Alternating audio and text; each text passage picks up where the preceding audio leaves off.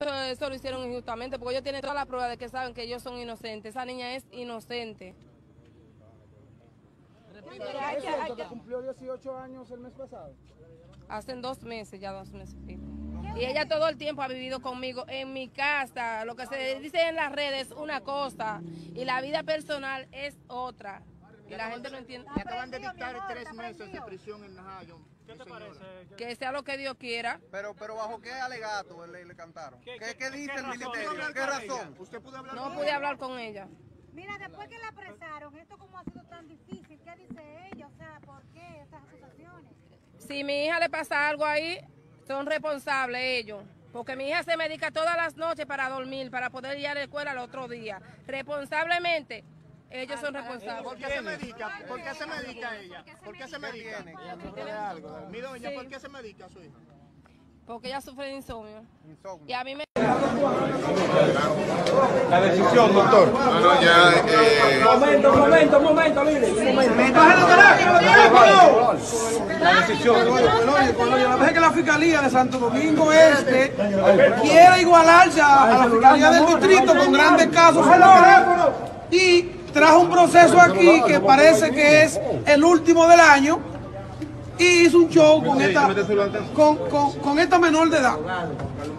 Estamos seguros que si este proceso hubiera sido en el Distrito Nacional, ni siquiera estuviéramos ante eh, este show que esta fiscalía de aquí de Santo Domingo Este ha hecho, porque le conoció una medida de coerción a Stacy Peña prácticamente alegando los hechos de otra persona y la responsabilidad penal es individual.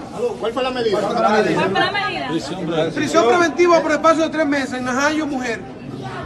¿Usted cree que es injusta lo que está diciendo? Que es injusta. Pero muy justo. ¿Cuáles son los alegatos, doctor? Los alegatos. El juez ni siquiera motivó.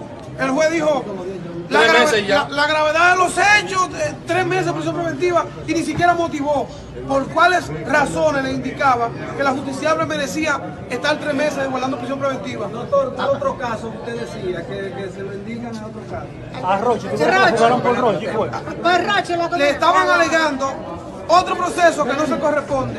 ¿Cuál proceso? ¿Cuál proceso? Otro, otro proceso de que no se corresponde. Explotación, este- explotación de menor infantil. Pero no, allá no se habló nada de eso. No sabemos cómo la fiscalía le dijo al mundo que se trataba de esos calificativos jurídicos y allá adentro no se debatió nada de eso. Puesto que si se, si se supone que hay una explotación de menores, por lo menos la fiscalía debería traer o identificar, mira, se trata de este hecho porque hemos identificado una menor, dos menores o X cantidad bajo esta situación y sin embargo alegar no es probar. ¿Cuántas Ni siquiera menores ustedes, doctor? Ninguna. ¿O ustedes le han presentado alguna menor que ha sido objeto de abuso eso- fuera de la víctima? Pero en base entonces A a, que puso tres meses, de- en base a qué. Nosotros nos quedamos estupefactos, como todos los que estaban ahí adentro. No sabemos por cuál, por cuál razón le impuso tres meses de prisión preventiva. ¿Cuál es el juez? Leomar. Leomar. ¿Qué juez es ese? ¿Apelarán Leomar. la decisión?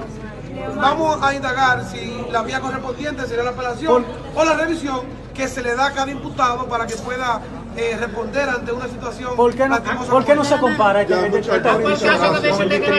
qué? Ya está bueno. ¿Qué pasa de Porque este la fiscalía debe de ser objetiva, buscar pruebas como lo establece el artículo 60, a cargo y a descargo. Y si en el supuesto lugar donde ocurrió eso, habían cinco personas y las cinco testifican y cuatro dicen que eso no pasó y la única que dice que eso pasó es la supuesta menor víctima de este proceso, y da dos entrevistas, una el día 8 y otra el día 10, y dice cosas diferentes, y que fruto de eso la psicóloga dice que es incoherente en la misma entrevista porque dice dos cosas diferentes o varias cosas diferentes, y las otras cuatro personas todas dicen lo mismo que pasó, y ninguna se indica que el artista alias Rochi ni siquiera estuvo cerca de esa menor ¿Por qué entonces la fiscalía no es objetiva y utiliza el artículo 260 y pide prisión preventiva? Y quiere seguir ahora involucrando personas. Muchas gracias, doctor. Muchas gracias, muy amable. Ahora lo que estamos